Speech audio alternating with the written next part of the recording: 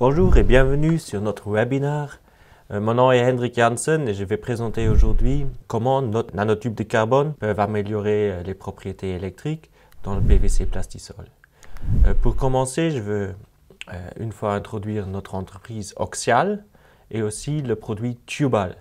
Oxial, c'est le plus grand fabricant de nanotubes de carbone de simple paroi au monde et situé au Luxembourg produit, les nanotubes de carbone de simple paroi, ont le nom tubal.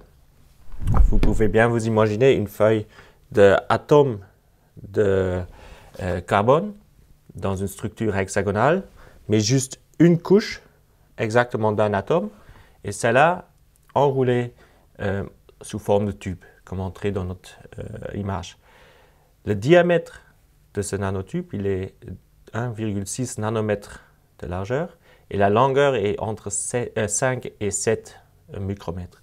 La relation diamètre-longueur est donc très grande et cette propriété, plus les propriétés exceptionnelles électriques, euh, sont un des points forts pour qu'on puisse juste rentrer 0,01 et 0,05% euh, de poids dans votre produit, euh, dans, votre formulation finale pour euh, faire que le matériau sera électrique. Quels sont en principe les bénéfices que notre matériau peuvent donner à l'industrie du PVC plastisol? Pour ça, on a regardé à cinq propriétés importantes. Donc, une fois une gamme complète de la résistance, une fois la couleur, on veut avoir des produits colorés. Est-ce que c'est possible d'avoir aussi des bonnes propriétés mécaniques. Est-ce que la conductivité elle est aussi permanente? Et c'est simple ou facile à introduire Est-ce que c'est une propre production?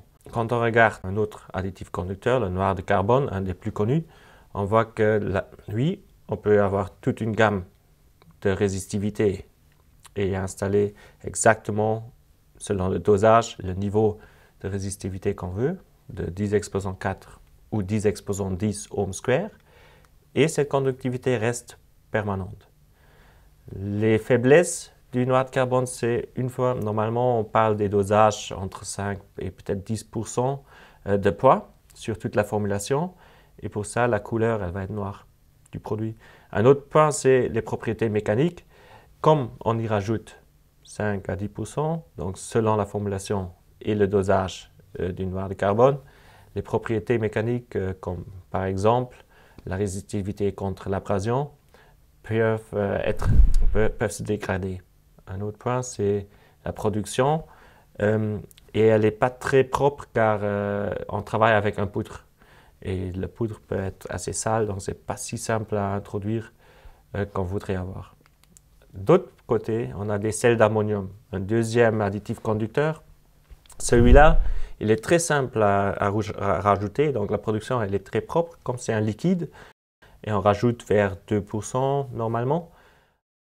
Il n'a pas d'influence sur la couleur et euh, l'influence sur les propriétés mécaniques, elle n'est pas immense. Les problèmes, c'est plutôt qu'il ne peut pas avoir toute la gamme euh, complète de la résistivité. Donc on arrive normalement euh, pour ce dosage à 8 ohms square ou 10 exposants 7 ohms square. Et la conductivité, elle n'est pas permanente. Elle euh, dépend aussi à l'humidité. Selon l'humidité, on peut avoir des euh, propriétés électriques beaucoup moins fortes.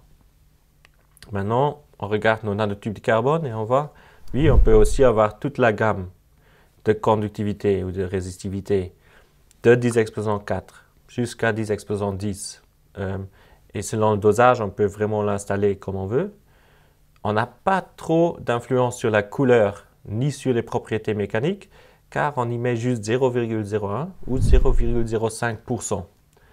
L'autre point, c'est la conductivité, elle reste permanente, c'est un peu fort, et comme on ne rajoute pas les tubes sous forme de poudre, mais qu'on a des produits, euh, des concentrés avec les tubes déjà percés dedans, sous forme de pâte, on peut les rajouter très simplement dans notre production sans avoir des saletés qu'on voit euh, au carbon black.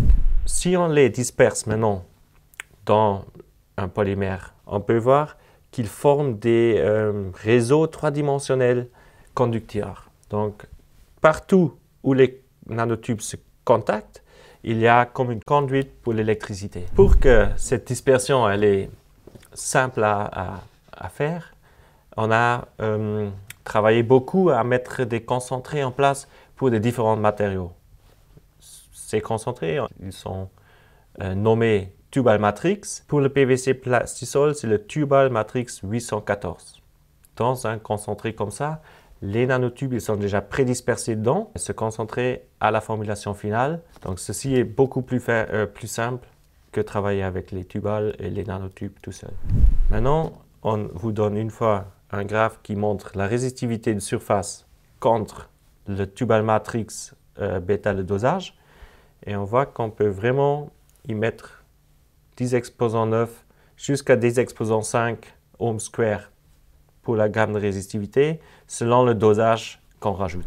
Maintenant, on avait dit on n'a pas d'influence sur les propriétés mécaniques. C'est pour ça qu'on a testé ici trois samples, une fois sans les nanotubes, une fois avec 0,5% de masse de notre concentré, une fois avec 1% de masse de notre concentré dans une formulation de PVC plastisol. Et vous voyez que euh, la résistance à l'abrasion est maintenue. On voit même euh, une petite amélioration, mais en général, elle reste stable. Après, on avait dit, on n'a pas trop d'influence sur la couleur, juste un peu. Et vous voyez aussi ici, si vous utilisez un dosage assez faible, entre 0 et 1%, on est vraiment capable d'y mettre aussi des... Euh, on, est, capable d'avoir des couleurs euh, vertes. Si on rajoute plus, on va avoir des problèmes euh, et, la couleur elle devient plus sombre. Après, on a dit, oui, la résistivité elle est aussi stable et permanente. C'est pour ça qu'on a fait des tests une fois après le stockage à 70 degrés pour 7 jours et une fois après le stockage dans l'eau aussi pour 7 jours. Et on voit que la conductivité, elle ne changerait pas euh, sur aucune euh, des tests de vieillissement. On voudrait aussi savoir comment est-ce que c'est l'influence de l'humidité sur les propriétés. Et là, on a fait une fois des tests d'humidité plus que 90 degrés, une fois entre 50 et 60 degrés, 60%, une fois 20%. Et on voit qu'aussi ici, euh, la conductivité, elle ne changeait pas. Pendant que pour euh, les, euh, les, échantillons avec les sels d'ammonium, on voit une dégradation de presque deux ordres de grandeur. Et à la fin, une formulation, c'est bien sûr pas seulement la résine avec les nanotubes, mais il y a aussi dans beaucoup de cas des charges dedans. Et pour ça, on a regardé à des charges de différentes tailles. Une fois CaCO3 avec 20 micromètres et une fois avec du kaolinite de 3 euh, à 10 micromètres. Et on voit que ça influence quand même les propriétés électriques. On a vu que la résistivité, elle devient un peu euh, moins forte. Et ça, c'est à cause des tailles des, particules. Donc, pour des petites tailles, euh, les nanotubes ils peuvent être isolés et pour ça, dégradés avec les performances. Donc, nous, on dit bah, c'est mieux d'utiliser, si possible, des charges avec des tailles plus élevées. À la fin, oui, aussi, on a des technologies de fabrication qu'on ne veut pas changer. Et avec le nanotube, en principe, toutes les différentes technologies pour fabriquer votre pièce euh, sont possibles. Si c'est moulage, induction, trempage, il n'y a pas de souci. Maintenant, on a vu une fois les propriétés que nos matériaux peuvent donner à la PVC plastisol. Après, on a vu la dispersion. Si on travaille avec les concentrés, ils ne sont pas trop difficiles. Et maintenant, la question reste est-ce qu'il y en a déjà des résultats commerciaux? Est-ce qu'il y a des produits sur le marché? Et euh, je peux vous dire, oui, là, on a plusieurs produits avec le nanotube dedans. J'ai choisi maintenant cinq exemples où on utilise déjà les tubes et aussi nous, on donne un bénéfice au produit final. Un, c'est des gaines de ventilation antistatique qui sont euh, beaucoup utilisés, par exemple, dans des mines ou aussi dans des installations chimiques. Euh, Là, c'est la régulation qui dit que la résistivité doit être sous 10 exposants 8 ohms square. Et bien sûr, on ne veut pas avoir une, euh, une dépendance sur l'humidité. Donc elle doit être stable, pas de dépendance sur l'humidité, et aussi être 10 exposants 8 ohms.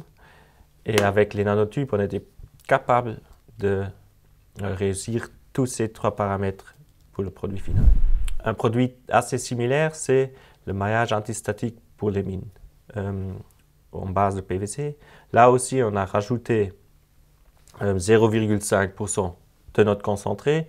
On a réussi d'avoir des résistivités de sous 10 exposants 8 ohms square, mais aussi d'avoir les performances mécaniques qu'on a dû avoir et d'avoir une résistivité indépendante de l'humidité. Un prochain produit, c'était les textiles antistatiques, euh, avec lesquels aussi on travaille peut-être dans le domaine électronique ou chimique.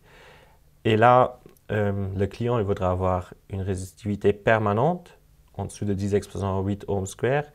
Et ça, c'était aussi possible avec euh, seulement 0,5% de masse de notre concentré tubal matrix 814. Après, bien sûr, des bandes transporteuses, c'est là aussi, doivent être antistatiques et doivent parfois même être euh, de 10 exposants 5.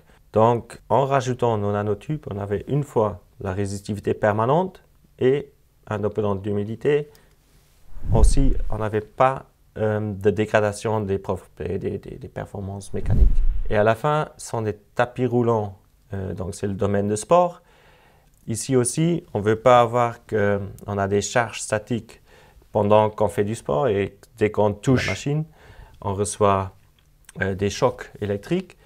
Et pour ça, on voudrait avoir les tapis roulants résistifs antistatiques permanents.